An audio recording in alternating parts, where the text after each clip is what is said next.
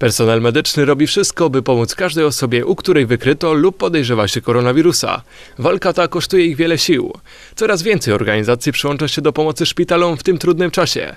Podobnie postanowili zrobić strażacy ochotnicy z rybnickiej dzielnicy Kamień. Zorganizowali oni zbiórkę wody oraz środków higieny. Akcja trwała bodajże od czwartku zeszłego tygodnia. Wczoraj żeśmy ją zakończyli, miała trwać do dzisiaj, ale w związku z, z informacjami Ministerstwa Zdrowia o, braku możliwości przemieszczania się skróciliśmy ją do, ją do wczoraj.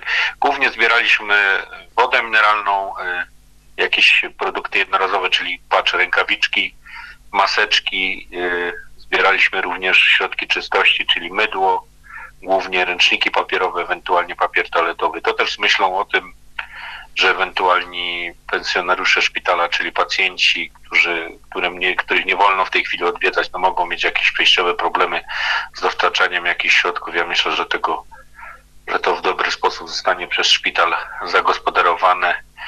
Mówiąc szczerze, każdy z nas może dzisiaj znaleźć się w szpitalu i, i, i trzeba po prostu tak do tego podejść. Strażakom w zbiórce pomogło wiele osób. patrząc po ilości tych rzeczy i po ilości osób, które nam pomogły, to naprawdę jest tego bardzo dużo. Pomogła nam również Ochotnicza Straż Pożarna w Orzepowicach, która się włączyła do tej akcji razem z nami i, i, i w dniu we wtor, w poniedziałek przywieźli bardzo dużo też e, darów, które zebrali, przywieźli samochodem pożarniczym do nas, do straży, żebyśmy jakby magazyn logistyczny stworzyli u nas w remizie nowej skądinąd. Wszystkie zebrane dary trafią do rybnickiego szpitala.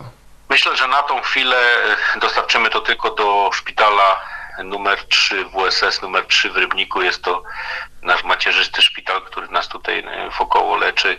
Te szpitale e, jednorodne, czyli patrz, e, szpitale nazwane szpitalami zakaźnymi są w miarę dobrze wyposażone. Oczywiście one więcej potrzebują tego sprzętu, ale są dobrze zaopatrzone. Większy problem jest z tymi szpitalami wielooddziałowymi, Strażacy nie wykluczają podobnych zbiórek w przyszłości i zapewniają pomoc wszystkim potrzebującym osobom w tym trudnym czasie.